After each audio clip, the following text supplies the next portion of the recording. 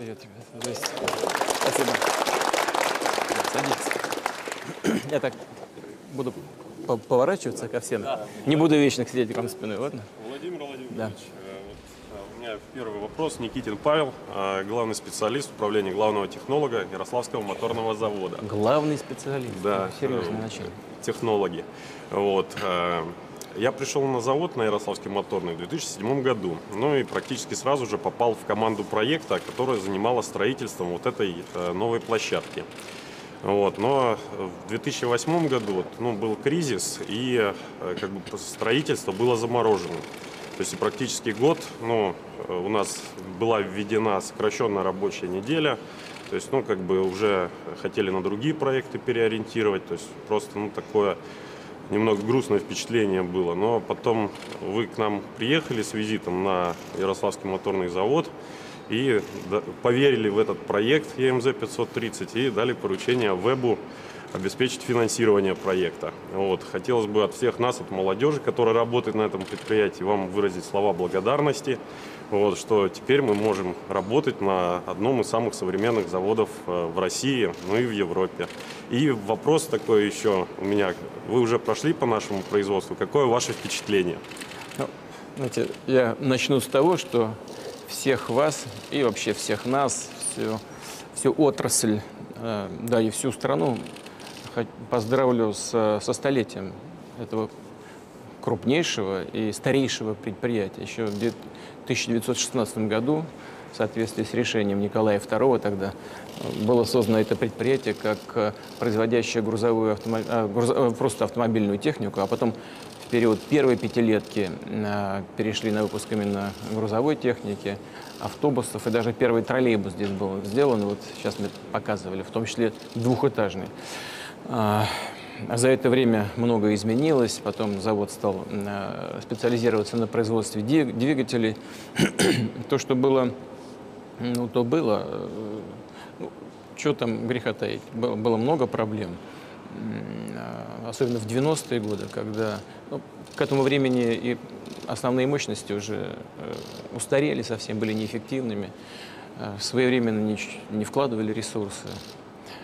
Рынок открыли, для иностранной достаточно дешевой и, прямо надо сказать, качественной техники. И а, собственные предприятия стали просто умирать довольно быстрыми темпами. В таком состоянии я первый раз застал этот завод. Но действительно за это время многое сделано.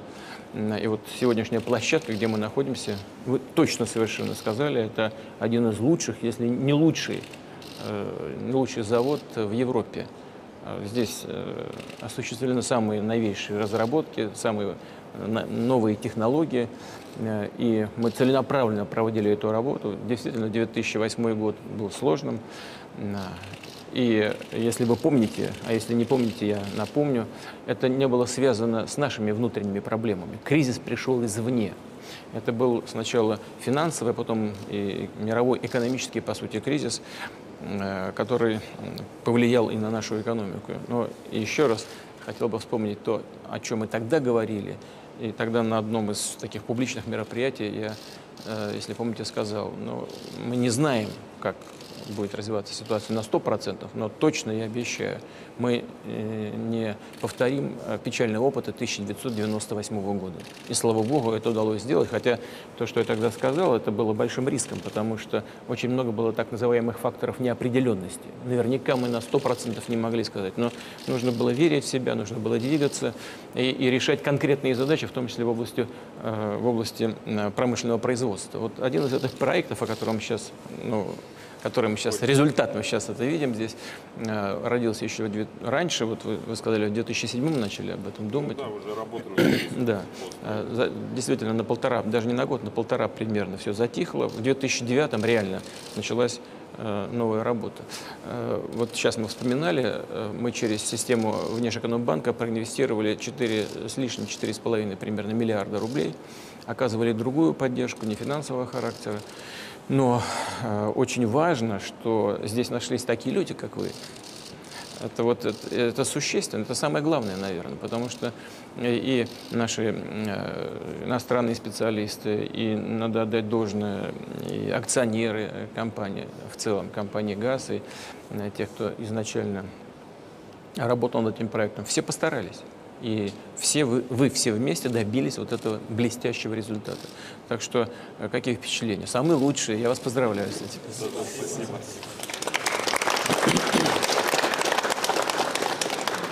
Да-да. Волоченко Павел, э, Ярославский завод дизельной аппаратуры. Э, я когда обучался в аспирантуре, я приводил на наш завод студентов на практику.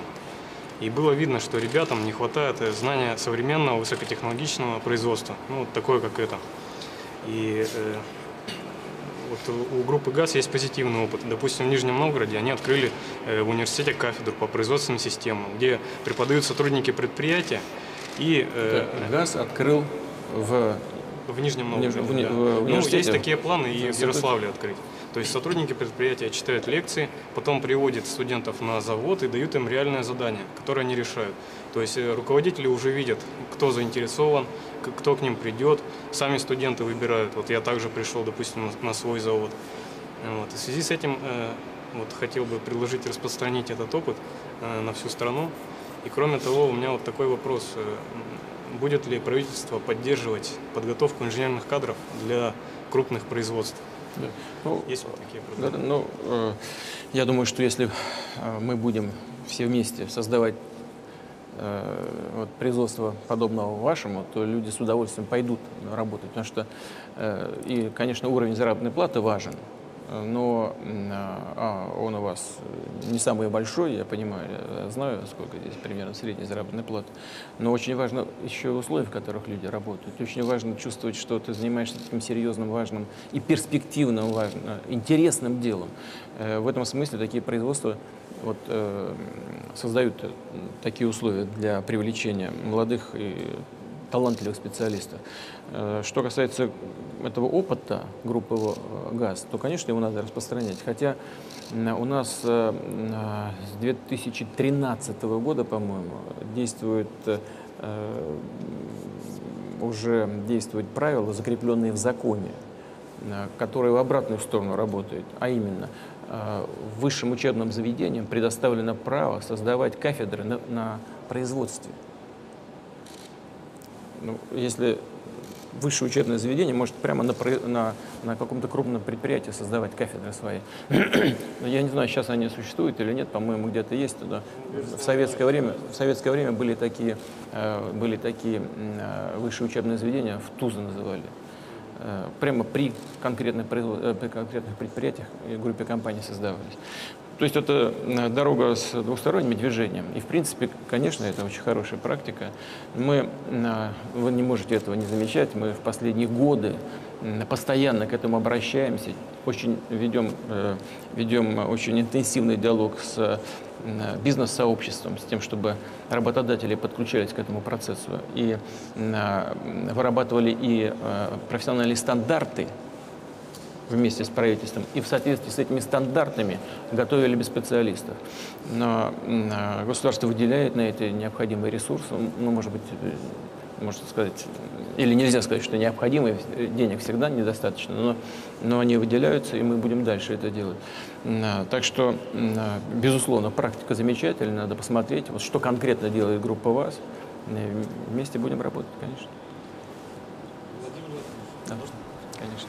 Меня зовут Юрий Шудин, я инженер-конструктор Объединенного инженерного центра. То есть еще студентом я участвовал в программе робототехника от фонда «Вольное дело» Олега Владимировича Дерибаски. И, собственно, благодаря этому проекту я определил свою профессию. То есть сейчас я работаю здесь. А, не секрет то, что все больше оборот набирает тема беспилотных транспортных средств в мире. То есть Европа, Америка уже давно этим занимаются. А, мы с недавнего времени тоже активно к этому подключаемся. На сегодняшний момент разработали электромобиль на базе «Газель». А, «Газель Электро» называется проект. И на его базе же будет а, беспилотное транспортное средство. И вот хотелось бы узнать, по вашему мнению, получит ли у нас в России эта тема широкое распространение? Приживется ли она да, у нас? Вы, вы с чего начали, вы сказали? с того, что я был участником робототехники, Уча участников робота, что это было такое? Робототехника. То есть э, от проекта, от фонда «Вольное дело» есть проект робототехника, угу. где э, либо со школьной скамьи, либо ну, вы, вы в моем откуда? случае со студенчества. То есть я а, был вот. Это как бы сказать, это ответ. Вот, ну да, продолжение. Да, да. То есть ответа на ваш как вопрос. Как раз продолжение. да. но, То есть мне посчастливилось, но, к сожалению, я понял. Но вот э, сейчас мы плавно от вашего вопроса перейдем к вопросу, который задал, задал коллега. А, мы, а, кроме вот этой практики да, совместного подготов, совместной подготовки кадров с производственными крупными предприятиями, а, у нас развивается еще и такое движение, как WorldSkills, подготовка, подготовка специалистов в области рабочих профессий, но в высокотехнологичной сфере производства.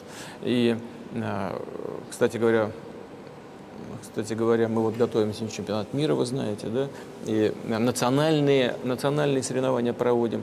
Э, и из, э, из, э, из Ярославля тоже принимал участие команда в последнем, в последнем чемпионате. По-моему, шесть человек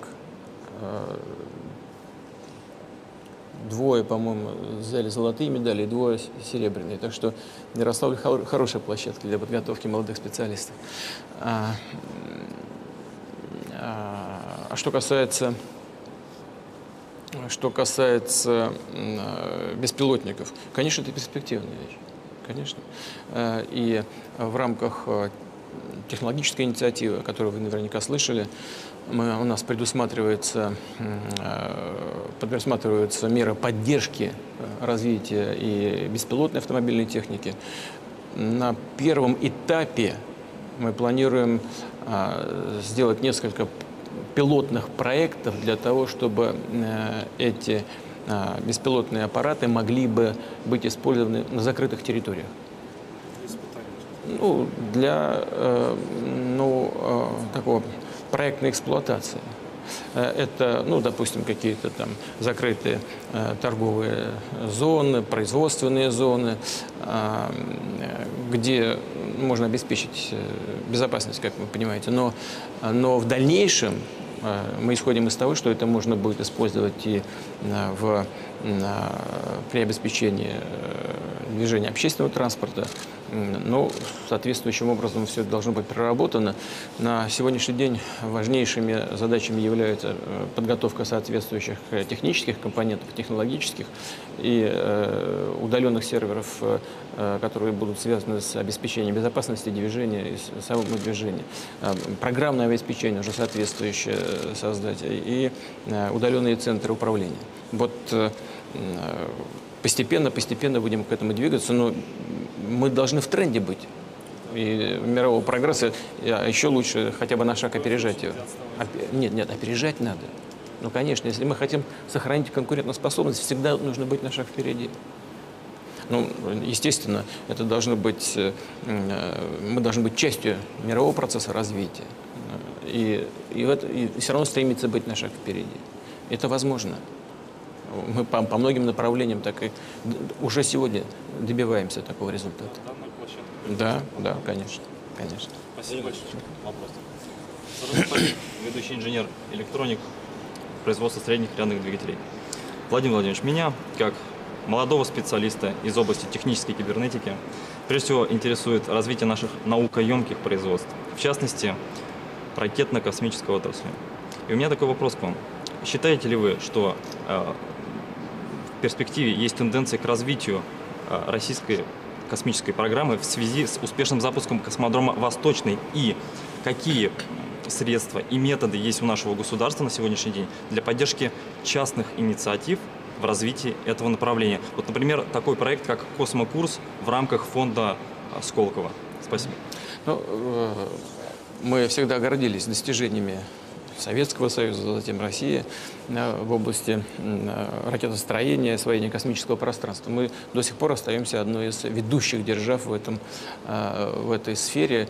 Как вы знаете, мы осуществляем больше, ну, в процентном отношении самое большое количество пусков в мире.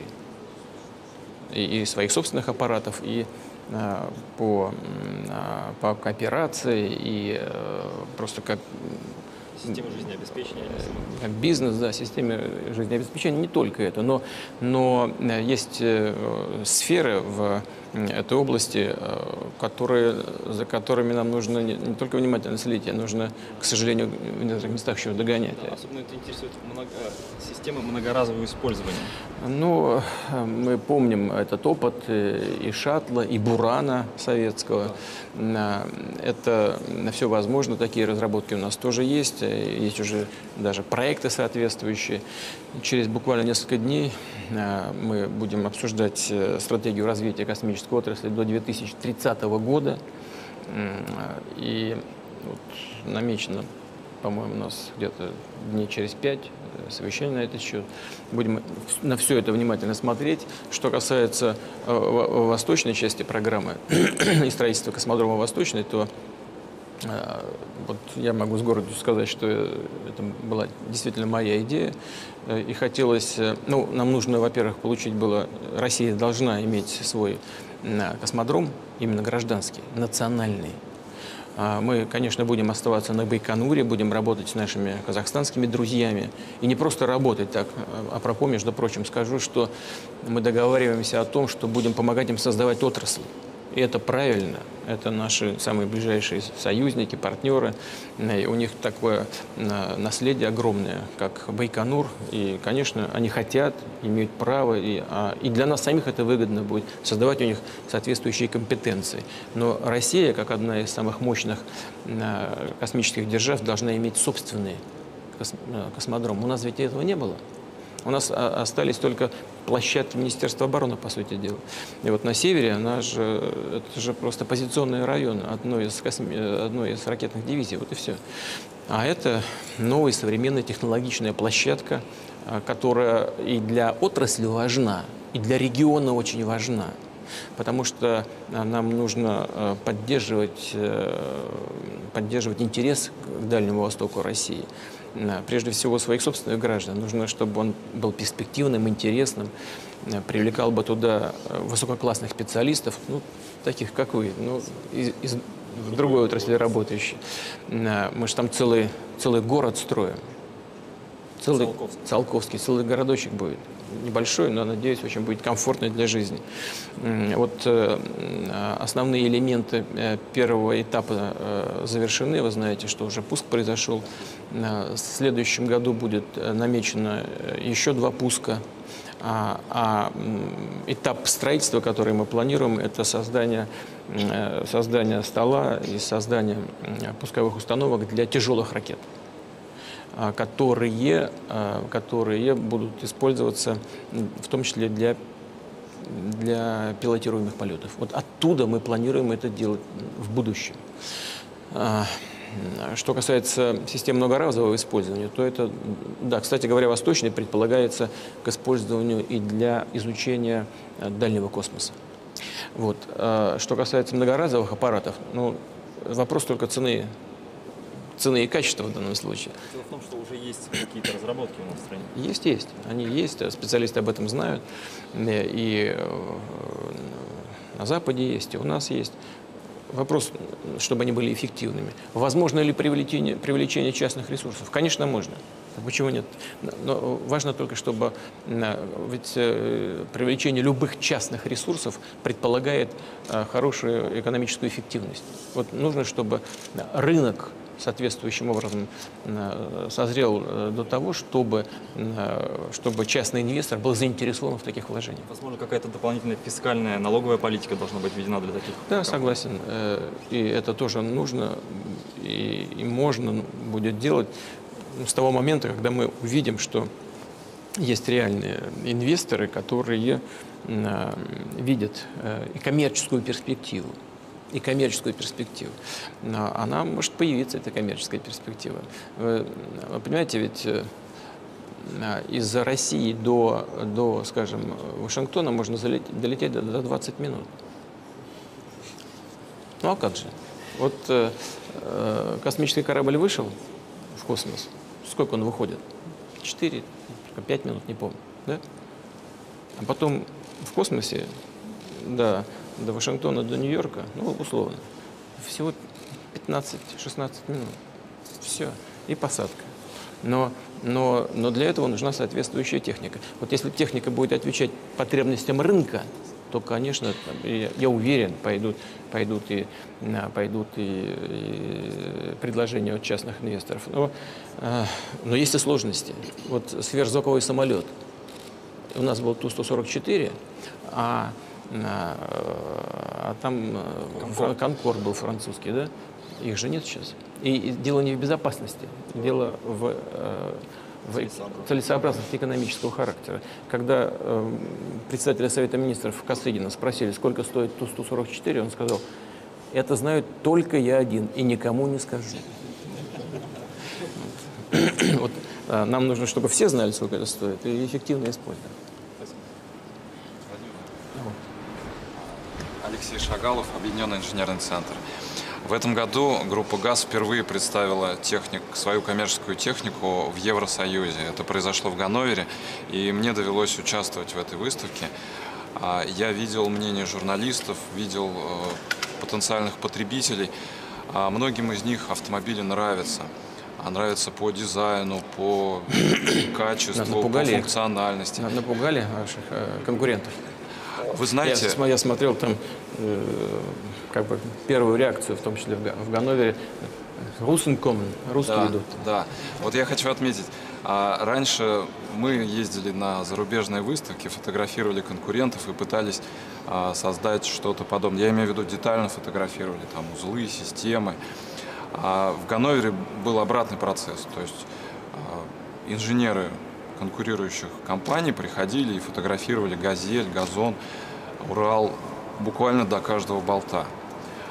А, конечно, есть сложности определенные. В Европе нас не ждут, и уровень технического регулирования там несколько иной. Там более жесткие экологические стандарты, там требуется выполнение норм Евро-6.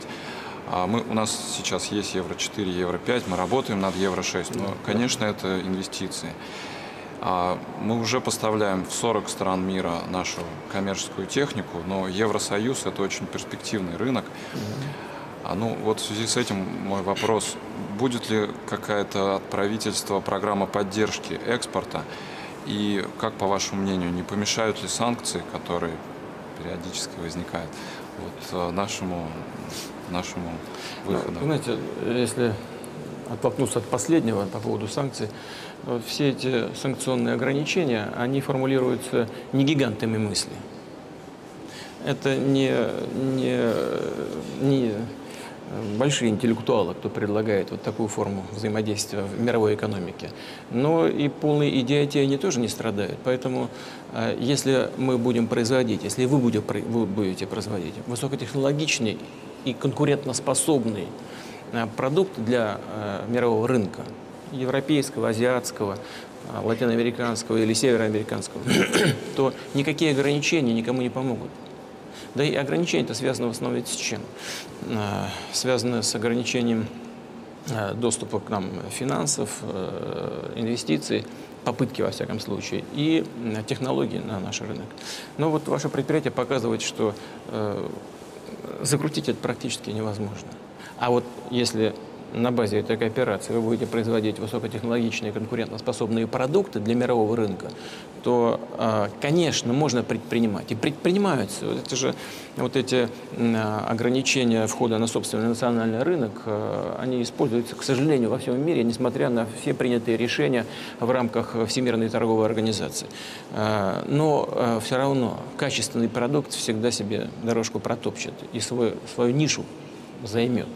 Поэтому нужно бороться за качество и за э, эффективность. Но, безусловно, вот эти вопросы, связанные с выходом на, на рынок, они дорогостоящие. Мы это знаем. Это связано прежде всего с транспортом, сертификацией и некоторыми другими э, вопросами формального характера. У нас есть целая программа поддержки, она, к сожалению, небольшая, сколько там, 6,3 миллиарда у нас. Да, вот, 26 миллиардов запланировали на следующий год. А, вот как раз для решения этих вопросов. Логистика, то есть, ну, в основном транспорт. сертификация и некоторые другие формальности такого характера. Но это, это главное, чего, кстати говоря, и бизнес от нас ждет. Будем этого делать. Будем это делать и дальше. Но я, знаете, хотел бы что отметить. У нас эти программы есть. Э, у нас же, она и в этом году работает. Э, уже сегодня, уже сегодня, за, по-моему, 2-3 года у нас э, экспорт машины и оборудования Э, в общем объеме экспорта вырос в два раза практически. Он у нас был э, в 2014 году, по-моему, 3 с небольшим миллиарда, а сейчас уже 6. Это мало пока, это очень мало. Но тенденция очень хорошая, надо эту тенденцию сохранить. Спасибо. Да, пожалуйста. А, меня зовут Наталья Кулянова, я специалист по закупкам. А, в этом году на моторном заводе у нас произошел а, рост производства двигателей порядка 20%. И отчасти за счет реализации государственных программ поддержки по закупкам для среднего бизнеса, малого бизнеса, социальных учреждений, автомобилей, как грузовых, так и пассажирских. Это во многом нам помогло, и мы бы хотели сохранить в будущем также тенденцию роста производства. И запланированы ли какие-то программы на будущий год по поддержке или обновлению автопарков? Ну да, вопрос понятный. Мы вот вчера только с Денисом Валентиновичем об этом говорили, с привлечением а, других членов правительства.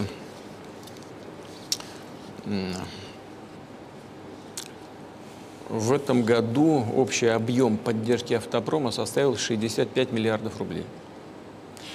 Если бы этой поддержки не было, а она у нас осуществляется по очень многим направлениям, от субсидирования приобретения машин э, до, э, до закупок и обновления э, транспорта, скажем, школьных автобусов, там, спецтехники для системы жилищно-коммунального хозяйства и так далее. Если бы этой поддержки не было, то а, у нас было бы сокращение рынка на 30-40%. А так нам удалось не только сохранить э, сегмент в сфере э, производства легковых автомобилей, так, но и даже чуть-чуть э, увеличились продажи грузовиков и автобусов. Это вот такая наша общая победа, потому что это реально требовало от нас усилий. Значит, э, что будет сделано в следующем году, я пока не смогу сказать. Мы как раз этим занимаемся. Я, я вот сказал, что вчера только э, это обсуждали.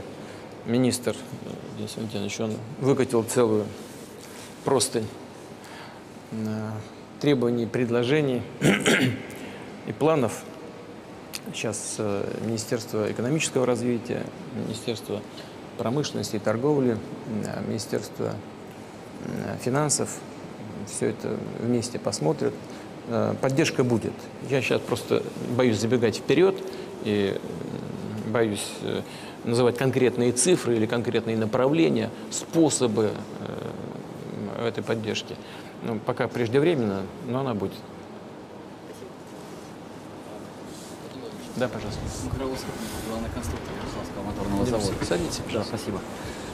А, Все-таки вот эта программа утилизации – это очень серьезный инструмент для поддержки рынка, на самом деле. И мы тоже оцениваем здесь и видим, насколько серьезно все это происходит. На самом деле, ведь я хотел бы сказать, что она для нас очень важна, потому что машиностроение, двигателестроение, автомобилестроение, как кон конечный продукт, создает очень большую цепочку прибавленной стоимости. Вот, да. Хоть, да, я понимаю так, что это в ближайшее время будет решаться этот вопрос как раз. Так, Целесообра... у, нас, у нас программа утилизации существует, действует. А она будет продолжена? Будет. будет а я не вижу оснований ее прекращать. А какие основания? Мы, я потом скажу, э, кто и как это придумал, когда камеры выключат. Но, но, а, но это мы думали так настойчиво над этим, э, имея в виду ограничения Всемирной торговой организации. Но вопросы экологического характера решать никто не запрещает. При этом э, я хочу обратить ваше внимание на то, что мы предъявляем требования по утилизации, а это связано с экологией, чтобы у нас э, Значит, ну, утилизация была своевременной и, и, и промышленно организованной правильно. Это, конечно, прежде всего решение вопросов экологического характера, сохранения природы. Но это и целая отрасль производства, между прочим, утилизация должным образом. И это первое. Второе – это, это поддержка автопроизводителей, которые производят новую технику. Так? А, чтобы гарантировать наш рынок а, того, чтобы завозился всякий хлам по бросовым ценам. А, а, а третье, а третье а, это распространяется, что очень важно, на всех производителей, и на отечественных, и на иностранных. Там есть дальше нюансы, а, об этих нюансах я расскажу, когда пресса уйдет. Но они все находятся в рамках Всемирной торговой организации. Так что мы будем работать, я не вижу основания прекращать. А можно еще один вопрос? Можно. Или даже предложение, я бы хотел сказать. Предложение? Да. Пожалуйста. То есть, э, ну, вы ходили по нашему предприятию, вы видели, мы большую работу по импортозамещению проводим сейчас, да. в течение последних двух лет. Здорово. Вы знаете, это, извините, что я перебиваю, это просто отлично. Я не знаю большого количества примеров, когда Мерседес, допустим, э, разрешает э, ставить произведенный за границей автомобиль на свои машины. А здесь у вас такая работа с ними сложилась. Это, это, очень, это показатель очень хороший, показатель высокого, ну, может быть, не сказать, высшего качества. Да, ну я хотел бы несколько конкретизировать. Понимаете, вот автомобильная отрасль все-таки в России, она относительно небольшая да. по объемам. А, но существует целый ряд отраслей смежных, где много продуктов или видов технологий, они примерно такие же. Вот э, существует координационный совет по развитию дизелестроения, и, может быть, в рамках этого совета или какой-то создать более расширенный совет, межотраслевой совет, который позволит бы некоторые комплектующие объединять. Таким образом, поставщики могли бы э, находить в себе ресурсы для более емкого рынка, потому что реально тяжело нам приходится. Очень ну, большая. Ну, здесь э, начальник отрасли сидит, командир, поэтому он услышал. Это идея неплохая. Э, это э, хорошая мысль. Безусловно, вот эти прямые контакты между производителями различных компонентов и смежных отраслей пойдут только на пользу. Пойдут только на пользу. Потому что э, одно дело лакокраска, другое дело производители там, э, металла. Так, и все это, когда они друг друга слышат, э, они начинают понимать, в чем интерес друг друга. Это, это хорошая идея. Надо только организовать грамотно и своевременно. Да, спасибо. Угу. Так, пожалуйста. Все? Меня зовут Сергей Богачев, Ярославский завод дизельной аппаратуры, главный конструктор. Ну, во-первых, хочу вам сказать спасибо, как... Вы все такие молодые, все такие большие начальники, все главные конструкторы. Так здорово, мне очень нравится. Вот. Ну, во-первых, э, от лица нашего предприятия хочу вам, как главе государства, сказать спасибо, что наше предприятие получает субсидионную поддержку новых инновационных проектов через Минпромторг. Вот. В недавнее время мы получили субсидии, и во многом благодаря этому нам удалось создать продукты нового класса, нового мирового уровня. Наш завод не такой большой, как моторный, но дизельная аппаратура в составе двигателя, она является самым высокотехнологичным элементом вот, и, в общем-то, ключевым элементом. Вот, и сейчас на фоне наших успехов с автодизелем, с КАМАЗом к нам обращаются уже представители таких заводов, как «Звезда», Санкт-Петербург, «Коломна дизель», «Пенза дизель МАШ», «Уральский дизель моторный завод» и просят для своих новых двигателей, новых разработок перспективных также им сделать системы Common Rail, с которыми они вошли бы в новые рынки. Сейчас там фирма Bosch, фирма Heitzmann, фирма Liebherr. И, к сожалению, отечественных, отечественной топливной аппаратуры практически нет. Вот. И в связи с чем у меня возникает вопрос, что будет ли продолжаться вот э, эта политика поддержки Минпром, со стороны Минпромторга в ближайшие несколько лет от выделения субсидий на новые инновационные проекты. Потому что ну, в одиночку нам с такой глобальной фирмой, как Bosch, которая нас в десятки, в сотни раз больше, очень сложно конкурировать, но все равно мы это делаем. Будет, будет. Сколько у нас предусмотрено? У нас э, по вот, Ярославскому заводу дизельной аппаратуры Э, по э, прошлому году, по позапрошлому, поэтому в общей сложности получается где-то в целом по группе ГАЗ около миллиарда рублей только на неокры. На что? На неокры, на, на научные исследовательские опытно-конструкторские работы. И плюс они получают сейчас льготный займ по фонду развития промышленности. Мы исходим из того, что все эти направления, они будут обязательно на контроле у министерства, и мы, собственно, для этого создавали инструменты. А, фонд. Из, из фонда э, поддержки промышленности сколько? Около 300 миллионов вот только по этому Это Спасибо. Э, один из эффективных инструментов оказался фонд поддержки промышленности, который был создан э, по инициативе вашего министерства. Э, и вопрос решается его декапитализации, поддержке. Будем продолжать все эти программы. Ну, конечно, нужно в каждом конкретном случае смотреть, что за программа, какой поддержки она требует. Но в целом высокотехнологичное производство, конечно, должно быть поддержано. Мы прекрасно понимаем это, отдаем себе отчет в том, что такое прорваться на, на, рынок, даже на собственный, внутри страны. Не, не так просто. Вот если бы не эти э, вот, э, умники, которые придумали санкции, да, мы бы не смогли бы даже на, на собственном рынке сейчас э, сельхозпродукции себя чувствовать уверенно. Только благодаря нашим ответным мирам рынок освободили. Да, был сложный момент, когда цены поднялись. Да, но сейчас они будут постепенно, постепенно. У нас инфляция в этом году э, до, до 6% будет минимум. Сейчас, сейчас только 4,7, по-моему, накопленные. Поэтому, э, то есть все выравнивается. А в, в сфере высокого производства, высокотехнологичного производства, конечно, нужна поддержка. И, безусловно, она будет. Сейчас просто я не готов всю палитру этих инструментов э, сказать, какая будет приниматься. Это министерство прямо решает. Но то, что мы будем это делать, будем на это ресурсы выделять, это точно. Ау. Да, пожалуйста. Буслаева Анна, инженер-конструктор, Ярославский моторный завод. Вот сейчас в стране есть программа по ипотеке для молодых семей. Но для вас также не секрет, что молодые специалисты после института не особо рвутся идти работать на производство. Так вот... Раз есть. На такое производство, я думаю, пойду с удовольствием. Все-таки с целью привлечения молодых квалифицированных специалистов на производство, возможно ли обеспечить их льготной ипотекой? Спасибо. Владимир я хотел дополнить а, Анну. А, у нас при запуске производства а, мы общались с иностранными специалистами, и у них процент по ипотеке где-то варьируется 3-4%. То есть вот можно ли как-то у нас эту программу? Это можно и нужно сделать, но только в связи, это можно сделать на основе развития экономики. Вот смотрите, там 3-4%, да, а, потому что э, там э, ставки э, рефинансирования, ставки Центрального банка приближаются к нулю. А, там у них совсем другая экономика и другие проблемы. А, у нас инфляция, а у них дефляция во многих странах.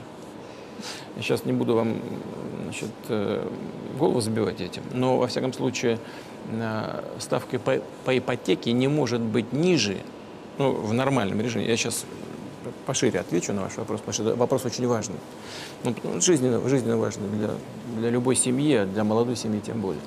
А, но, э, строго говоря, по, исходя из требований законов экономики, ставка по кредитам вообще и по ипотечным в частности не может быть ниже, чем ключевая ставка Центрального банка. А, значит, э, она может снижаться и должна снижаться для определенных категорий людей. Но это делается отдельными инструментами, дополнительными. Ну, скажем, для молодых семей, для семей там с, с малолетними детьми, для, для инвалидов и так далее. Вот э, сейчас э, у нас э, в целом ипотечная ставка где-то, по-моему, 12,5%, но при использовании различных инструментов поддержки отдельных категорий граждан, включая молодые семьи, она может опускаться даже до 10,5%. Это связано в том числе и с суммой первого взноса. Если первый взнос ну, поменьше, то ипотечная ставка побольше. Если, скажем, первый взнос достигает 50%, то тогда ключ, и ставка по ипотеке может быть 10,5%. Э, Кроме этого, во многих регионах во многих регионах э, э, создаются специальные отдельные программы, когда из регионального бюджета для отдельных категорий граждан, в том числе для молодых, молодых семей с детьми, э, даются дополнительные льготы, и там эта ставка уходит тогда ниже. Но это за, чисто за счет э, уже э, государства. Да? Э, это уже такая не рыночная ставка. А в некоторых регионах идут еще дальше. При рождении, скажем, не помню там в каком регионе, при рождении второго или третьего ребенка вообще э, уже э, освобождают от выплат. Сам регион платит за такую семью.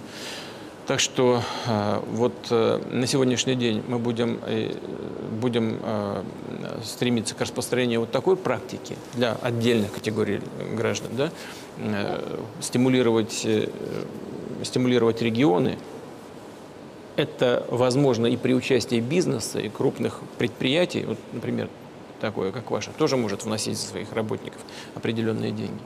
Вот. Э, будем развивать э, э, систему жилья по найму, наемного жилья, служебного жилья. То есть это может быть целая программа в рамках программы жилища. Мы, мы ее будем, эту программу продолжать.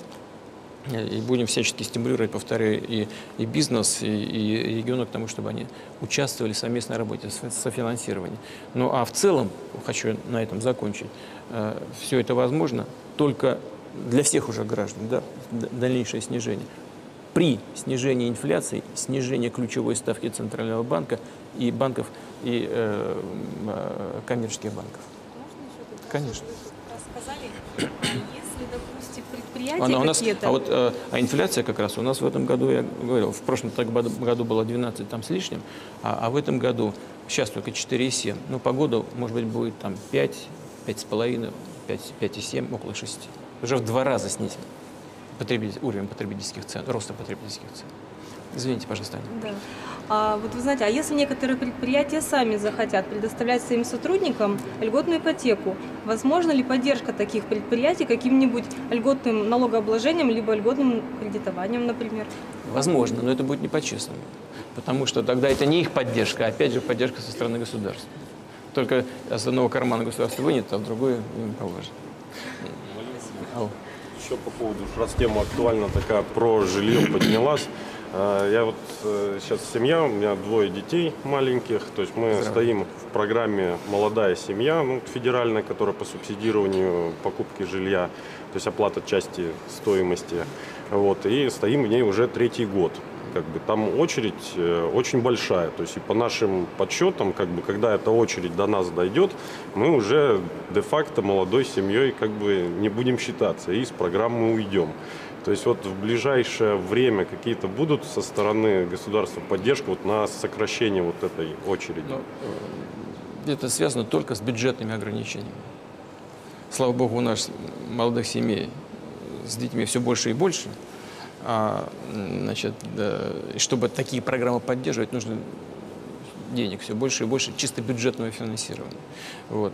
Здесь два путя, как говорят в деревне или э, давать деньги дополнительные из бюджета, либо способствовать повышению уровня заработной платы. Но мы будем стараться идти по обоим этим путям для того, чтобы добиться искомого результата. Вот э, по программе жилища, а это молодая семья, это часть общей программы жилища, у нас целевой показатель был к 2018 году, по-моему, улучшить жилищные условия 400 с лишним для 400 с лишним тысяч семей.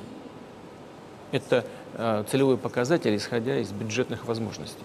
Но для молодых семей, конечно, хотелось бы в первую очередь это делать. Ну, как бы э, есть у нас такая категория, как ветераны, там, инвалиды и так далее. Государство хочет всех поддержать, всех сразу сложно, но все равно, исходя из принципа социальной справедливости, государство действует, поддерживая все, все эти льготные категории. Конечно, хочется молодым помочь. Ну, будем стараться, посмотрим, что получится. Спасибо. Просто уже просто, если просто вот по-простому, это нужно просто насыпать больше бюджетных денег. Пожалуйста. Игорь Владимирович, э, наладчик отдела промышленной электроники, Ярославский моторный завод, Щербакова Юлия. Я мама двоих детей, тоже двоих детей. Вот. Мы получили материнский капитал. И... Сколько? 400? Ну, сейчас 400, наверное, побольше, 60. 453 тысячи. 453 тысячи, Вот, планируем его в скором будущем реализовать. Но есть многодетные семьи, которые нуждаются не только в квартирах, но и в машинах. Молодец. Это, это лоббирование отрасли называется. Через социальные программы государства.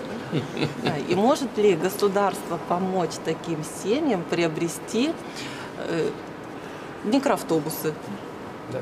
Вы знаете, я когда встречаюсь с многодетными семьями, а, когда спрашиваешь, а чем помочь, ну так, в полуприватном порядке, как правило, ставят вопрос о вот этих микроавтобусах. Особенно, особенно там, где действительно, ну, в полном смысле этого слова, многодетная семья, где там 5-6 детишек или больше. У нас пока такой программы нет, хотя э, вот э, программа материнского капитала развивается, она э, существует до сих пор, она должна была бы прекратить свое существование в 2016 году, да, но мы приняли решение продлить ее до конца 2018 года. Кстати говоря, обращаю внимание тех, у кого еще нет детей, здесь много молодых до 18 года, до конца 18 года действует программа материнского капитала, 450 тысяч рублей. Ну вот. И в следующем году мы ее сохраним, э, уровень поддержки по линии материнского капитала сохраним на уровне текущего 2016 года. А, уже у нас а, вот таких, как Юля, значит, мам, которые получили а, получили материнский капитал 7,5 миллионов человек. 7,5 миллионов. Только в этом году а, количество получателей а, материнского капитала возросло на 600 тысяч человек, ну, 600 тысяч семей. Я почему об этом говорю? Это очень серьезные затраты для государства. Никогда же такой программы в истории России и Советского Союза не было. Да не только в истории России и Советского Союза. Нигде и никогда этого не делалось. Мы это, эту программу э, значит, э, придумали, осуществляем. Э, она требует очень больших финансовых ресурсов. У нас, Юля, наверное, знает, я надеюсь, вы пользовались и другими, и другими инструментами, так скажем, выражаясь бюрократическим языком, поддержки материнства и детства. Там и лекарства, там и витамины, и прочее, прочее. Целый набор. Это вот все мы так сказать, генерировали, все это придумывали. И все это работает. У нас, слава богу, демография э, начала улучшаться. Напомню, что в 90-е годы Россия, как это не печально сказать, вымирала потому что каждый год у нас количество наших граждан уменьшалось в стране почти на миллион человек. 900 с лишним, с лишним тысяч был естественный э, а, да, убыль, естественная убыль населения. Почти миллион, 900 с лишним тысяч катастрофа, понимаете? И нам уже предрекали демографы всего мира, и у специалисты ООН даже говорили, как будет падать население России в ближайшие там, десятилетия. А это системные проблемы создают для всего, вплоть до удержания нашей огромной, самой большой в мире территории, до обороноспособности, до, до качества производства, до всего. Но вот нам э, удалось переломить эту ситуацию, да? в том числе и благодаря, вот, думаю, материнскому капиталу. Вот. Ну, вообще целой, э, целой системе поддержки материнства и детства. У нас, э, не помню, так, не ошибиться, мы, по-моему, в 2012 году еще э, коэффициент рождаемости э, был средний. А, а, а это коэффициент рождаемости – это э, среднее количество рождений на одну женщину. Он был 1,69 а сейчас он 1,777. Казалось бы, рост такой незначительный, 1,69, 1,777, но он существенный, потому что он прямо лежит на, вот, на водоразделе, что называется. Начался рост численности населения. К сожалению, вот э, с января по сентябрь у нас количество рождений немножко стало поменьше, но все равно естественный прирост продолжается, э, потому что увеличивается еще и продолжительность жизни. Мы все эти тенденции не только видим, мы радуемся вместе с вами этому. И все вот эти инструменты наиболее эффективные стараемся сохранить. Вопрос в том, чтобы машины еще давать, конечно, тоже бы очень хотелось. Может, как-то программа будет своя, Очень бы хотелось, это бы поддержало и семьи многодетные, это автопром бы поддержал. Ну, пока такой программы нет, но подумаем. Ладно? Спасибо. Да. Знаете, такой вопрос, волнующий больше, наверное, мужскую составляющую нашего коллектива. Женщина мужа закрыта? Нет, можно, можно послушать, да. Приближается все-таки чемпионат мира по футболу. И... Что женщин обижаетесь? Обижаете. Есть, есть, да, Это очень хорошо. Играют женщины сейчас да. в футбол и, и болеют. В большей, в большей степени. И мы успеем с вами достроить стадионы? Успеем, конечно. И вот э, дополнительный вопросик. Вы-то за кого конкретно болеете? В плане хоккея мне интересно, и футбола, конечно. Ну, мне, вы, думаю, меня поймете, я не имею права болеть за какую-то конкретную команду. Я болею за национальные сборные и там, и там. Хотя так э, люблю посмотреть красивую игру. Э, честно сказать, э, красивую игру национальной сборной мы как бы давно красивую не видели. Давно. Да, а, вот, а хоккеисты, они радуют, безусловно, они растут. Хотя и здесь нам еще очень многое нужно сделать. И прежде всего нужно работать с молодыми, а, начинающими и перспективными спортсменами. Нужно создавать условия для того, чтобы они могли себя здесь реализовать. Так же, как и в любой другой сфере, но она, а, школа у нас очень хорошая, спортивная. А, и она генерирует большое количество талантливых ребят, перспективных. И, конечно, э, ну, что называется, на рынке труда они востребованы. Их тащат э, везде. Нам нужно создать условия, чтобы им и не захотелось уезжать. И, в принципе, мы над этим работаем. Э, ну, условия надо создавать, финансовые условия, значит, условия для тренировок, чтобы, чтобы они, требования определенные должны быть. Отыграл он здесь какой-то, да, потом можешь куда-то поехать. Законодательные нужно э, нормы прописывать соответствующим образом, так чтобы и, и ребята были заинтересованы, э, и чтобы э, клубы наши не теряли, и чтобы мы были частью мирового спортивного движения, в том числе в области там, и футбола, и хоккея. Э, что касается э, стадионов, хочу заверить вас и всех остальных любителей футбола, все будет сделано вовремя, в срок и качественно. Напомню, что у нас пройдут соревнования, должны пройти соревнования э, в 11 городах на 12 стадионах. Все, все в, э, в режиме. Ну, там где-то есть небольшие какие-то отставания. Это носит такой временный технологический характер, все будет сделано. Спокойно. Да. Владимир Владимирович, Багров Александр, мастер участка номер 82 цеха складов. Я играю в хоккей в ночной лиге, как и вы. Хочу вас поблагодарить в этой создании лиги. Очень приятно. А, много молодых людей, которые когда-то раньше закончили заниматься хоккеем, сейчас заново. То есть видно, что всем очень нравится. И хочется поговорить о детском спорте. А, о том, что с каждым годом он все хуже и хуже развивается.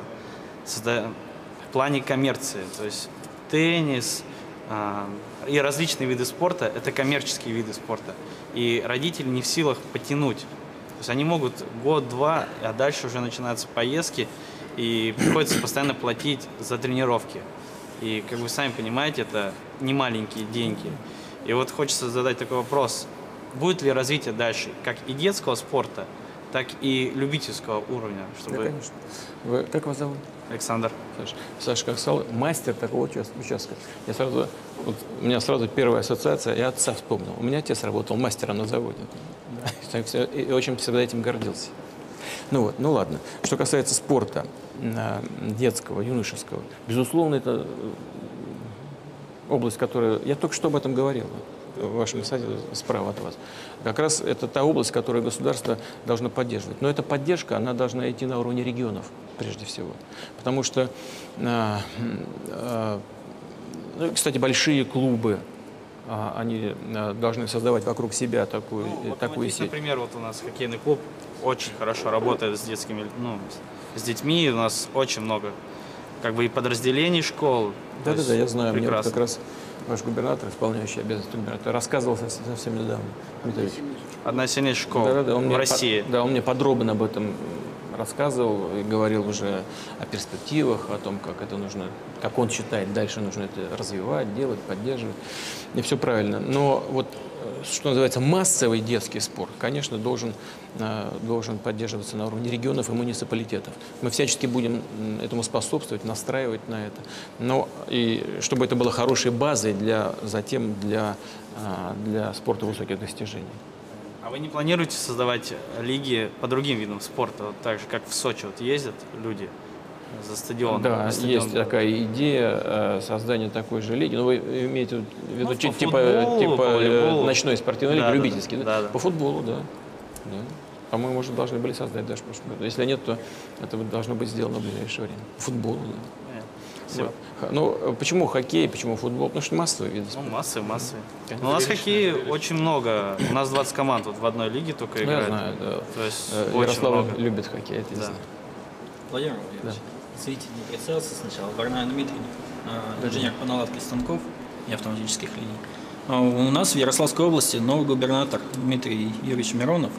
А, в первую очередь он приехал к нам на производство нам, в принципе, нашим коллегам это очень понравилось, потому что ну, производство у нас градообразующее. И... Он приехал вместе со мной или он раньше Нет, приезжал? раньше приезжал. Как он вступил в должность, он сразу же приехал, да. И нам, в принципе, это понравилось, потому что производство градообразующее у нас. Ну, да. И вот Юрий, молодая команда нового губернатора у нас очень много делает ну, для нашего города. Вот они как-то взялись быстро и хорошо. очень хорошо. Я как отец Это, это э, замечаю... вопрос или вы лишь похвалить его на всякий случай? Может, что подбросить?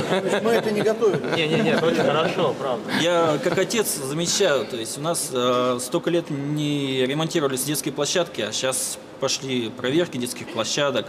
У нас стали убираться улицы, вот в нормальном... Как раз хотел спросить, улицы убирают? Да, да, да. У нас... Э, порядок э, историческую часть города, у нас убрали оттуда баннеры. Вообще у нас город, правда, похорошел. Спасибо вам большое, Дмитрий Юрьевич. Больше вы таких губернаторов. Да, у нас, э, как вот недавно совершенно была произведена акция «Снежный билет», которая коллапс наш поразгрузил на улицах города. И вот интересует вопрос, а какими критериями вы руководствуетесь при выборе губернатора? Критерии обычные, здесь нет ничего секретного критерий э, профессиональной пригодности и порядочности. Дмитрий я знаю очень давно, много лет. Э, он э, дорос до уровня замминистра внутренних дел, там занимался тоже вопросами экономики в министерстве. Человек очень деятельный, энергичный, способный, иначе я бы не предложил ему эту работу. И и очень порядочный. Это, это вот один из главных критериев. Надеюсь, что так свои лучшие качества здесь на этой работе и, проявит. А, ну, собственно говоря, вот и все. Я желаю ему успехов. Васильева Елена, специалист пресс-службы. Я бы хотела а, добавить э, вот, к теме досуга. Ребята занимаются хоккеем, футболом интересуются, а я, например, еще люблю путешествовать. Я люблю нашу страну. Я, я тоже. И я люблю путешествовать по городам России, в том числе по Золотому кольцу, а, в состав которого входит наш город Ярославль. Но, к сожалению... У вас три города ходят? Э, ну да, и три, три города, в том числе наш Значит, Ярославль. Ярославль, Залецкий, Залецкий и э, Ростов-Великий. Да, Ростов, и, и Ярославль. И, и что? Но, к сожалению, к сожалению, иногда мне приходится как путешественнику, как туристу, Э, сталкиваться с э, какими-то недостатками нашей туристической индустрии. Ну, бывают там. Допустим, вот мне очень хочется пожить в хорошем современном отеле, но по разумной цене. Также очень хочется видеть более развитую дорожно-транспортную сеть. И мы все знаем прекрасно, что у нас сейчас активно развивается туризм в Крыму, в Краснодарском крае, на Алтайском крае. Да. Э, и может ли сейчас правительство предпринимать какие-то шаги для развития такого же активного ну, да. туристической индустрии именно и инфраструктуры именно в центральном регионе России? Как, вы, как вас зовут, Юлия? Елена. Лена. Лена. Лена, какой аккуратный человек. Она, я сказала, иногда я встречаю кое-где Вот у нас фильм был, помните, такой в советское время «Следствие ведут знатоки». Там, там песенка, помните песенка? Если кто-то кое-где у нас порой честно жить не хочет со всех сторон, обложились. Вот. Но, но, к сожалению, у нас не кто-то, не кое-где не порой, а очень часто. Часто мы наблюдаем на неурегулированность, неустроенность в сфере внутреннего туризма. Но у нас есть программа развития внутреннего туризма. Из-за у нас в прошлом году, нет, в этом, наверное, ну, в этом, по-моему, нет, ну, год не закончился, значит, это данные по прошлому году. Значит, а, в России отдохнуло внутри нашей страны 70 миллионов человек. А из них 50 миллионов – это граждане Российской Федерации. Значит, 20 – это миллионов приезжих. Это немало. А, хотя и немного. Сейчас я скажу, там, по, по каким критериям немного. У нас очень, ну, самая большая территория в мире. И, конечно, она не может быть неинтересной. Одна Камчатка что стоит. Да. Там нужно, правильно, э, круизникам разрешать заходы в различные места красивые. Да. Дальний Восток вообще в целом. Шикарное место, просто уникальное. А, Сибирь, да? а, значит, Алтайский край, а, Республика Алтай, Краснодарский край, теперь Крым. А, наибольшие показатели роста внутреннего туризма показали как раз Краснодарский край, Сочи стал круглогодичным курортом, и зимой, и летом теперь работает, как мы и хотели. Зимой там лыжные виды спорта в горах, летом, летом море. Вот. Все это очень хорошо совмещается друг, друг с другом, там скоростные поезда ходят даже, кроме, кроме э, двух трасс, там две трассы идут от нижнего кластера наверх, автомобильные. Есть еще скоростные поезда, которые ходят наверх. 25 минут, по-моему, 20 минут, все в горах. Вот. А, а, значит, вырос сильно Крым. После 2014 года там большой рост. А, ну вот, это вот, да, Татарстан. Ну, конечно, конечно, огромный потенциал у Центральной России и у Золотого кольца. Это я с вами полностью согласен. Мы уже с вами выяснили, что Ярославская область там три города, три города туда направила, в, это Золотое кольцо. Да и сам Ярославль. Ведь э, э, исторический центр Ярославля включен э, в список э, мирового культурного наследия ЮНЕСКО. Я очень рассчитываю на то, что вот и новое руководство города, и новое руководство Ярославской области сделают все для того, чтобы привлекательность росла. Ну а, а федеральная программа о развитии внутреннего туризма действует, мы дальше будем над этим работать. Я полностью разделяю ваше мнение о том, что нужно это делать. Да, а почему мало? Э, знаете, вот у нас а, туристическая отрасль вносит а, вклад туризма в ВВП страны, если все взять за 100%, 1,6% всего в, э, в странах с развитым э, туристическим э, сектором экономики это 10%, а у нас всего 1,6%. Воробьев Дмитрий, специалист управления маркетинга, Ярославский моторный завод. Вопрос про армию. Наша армия сейчас на подъеме, поступает новейшая техника туда, э, форма красивая, у молодежи интерес появился к службе в армии. А что еще будет сделано для того, чтобы наша армия оставалась такой же сильной и, ну, если не военная тайна, конечно? Я вам скажу, но вы никому, ладно? Значит, э, у нас же целая программа существует. Целая программа развития гособорон, э, заказ и вообще программа развития армии. Она должна быть, как мы много уже лет подряд говорим, компактный, но очень эффективный. Так что мы будем продолжать и структурные реформы, э, изменения, будем продолжать э, э, оптимизацию численности, без всяких там массовых сокращений, просто смотреть по родам и видам войск, что и как нужно делать. Будем особое внимание уделять таким компонентам вооруженной составляющей государства, как а, информатизация, разведка, в широком смысле это слова, не, не только агентурная разведка, а э, техническая разведка, значит, э, системам связи, а, разумеется, современному высокоточному, высокотехнологичному вооружению. Вот э, вы, наверное, уже заметили, стали такие наши совещания регулярными. Два раза в году я их провожу в Сочи в э, мае и в ноябре. Целую неделю я собираю там представителей промышленности, э, главных конструкторов, директоров крупных предприятий оборонки и руководство Министерства обороны отдельными родами и видами войск. И вот мы смотрим, что сделано за предыдущие шесть месяцев – чего почему-то не сделано и что нужно сделать для того, чтобы, безусловно, обеспечить исполнение гособоронзаказа. Вот, э, э, так что э, армия наша никому не угрожает, хочу это еще раз подчеркнуть, чтобы все услышали, не только здесь сидящие, но она э, боеспособна, э, она стала современной и высокоэффективной. В разы увеличилось количество тренировок, учений, в том числе и внезапных проверок, которые время от времени почему-то беспокоят, беспокоят наших э, партнеров, условно их назовем так. Э, когда они проводят какие-то учения, мы не беспокоимся, они почему-то сразу начинают нервничать. Э, нерв, нервные такие. Ну вот. Но, повторяю, это важно. Мы никому не угрожаем, никому не собираемся угрожать. Да нам зачем? У нас территория самая большая в мире, я уже об этом сказал, все знают. Нам нужно надежно обеспечить безопасность своей собственной страны, своего собственного народа. Наша армия сделать это в состоянии. Будем и дальше ее развивать.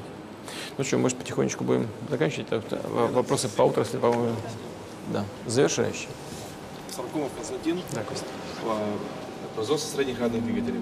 Вот э, по-человечески ваша работа насколько тяжелая? И хотелось бы узнать... Что такое? Что это такое?